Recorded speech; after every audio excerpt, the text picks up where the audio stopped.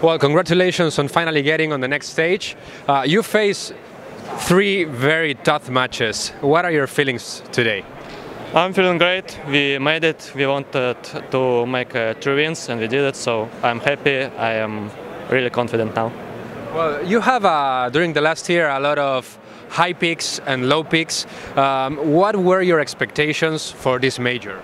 For this major, uh, I don't have high expectations. Like I don't want to put them like very high, but our uh, main aim like to make uh, three wins in the next stage, like in the legend stage, and then I don't know destroy everyone in playoffs. Well, and tell me about the match uh, against Fnatic. Uh, you won in two maps kind of comfortably, or this last Mirage was tough to close it? Mm, overpass wasn't hard at all.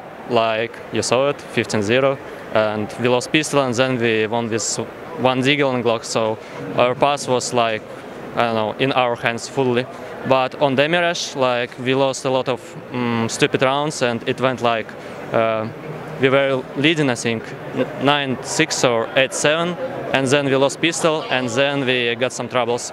And I'm happy that Fame won a really important clutch uh, when he was CT, 1 versus 2, and I think that's why we won this map. So, well, being an original uh, piece of the Virtus Pro team, um, how is the chemistry between you five at this moment? Maybe you can make a comparison with the with the squad with uh, Sanji and Buster. Uh, I don't want to compare like uh, these two squads. They both are special, like this one and the previous one and the previous previous one. So everyone is special for me because I got a lot of experience from these like squads, from playing with Sanji, playing with AdreN, playing with Buster, Kinder, and now I'm playing with young guys and I am giving them experience. So it feels great.